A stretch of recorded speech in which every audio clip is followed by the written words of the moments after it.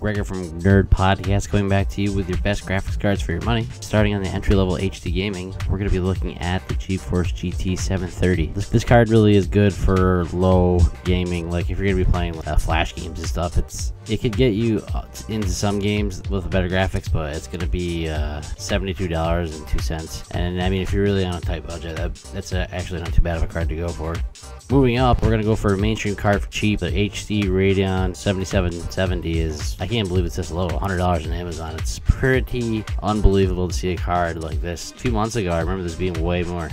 And moving on up even past that would be the Radeon R7 260X. This card is actually selling $30 more than the GTX 750 Ti, which I think makes it a little bit better. Um, it runs better, so I mean, for the price, $124.99, I mean, you're really getting a lot more bang for your buck in this one. It's still under the $150 range, so it's such a good deal. It's the equivalent to an overclocked Radeon 7790, and that's still a really good card. You pretty much play all your games at 1080p uh, using medium quality details, so this is going to be one of those cards I highly recommend.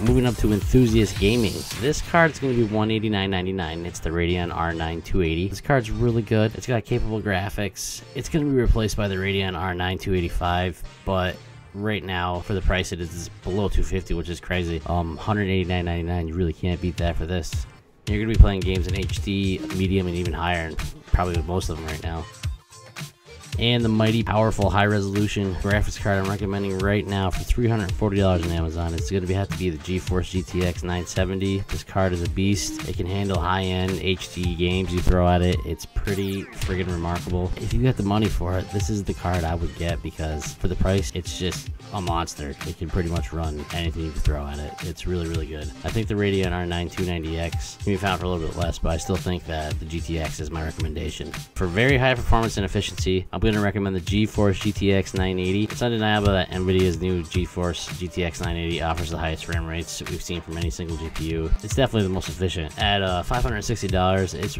it's reasonable when you consider the GeForce GTX 780 Ti is going to sell for 660. But now that the 780 Ti has all but disappeared from the market, we turn to this card. I mean, this is the card you want to get right now.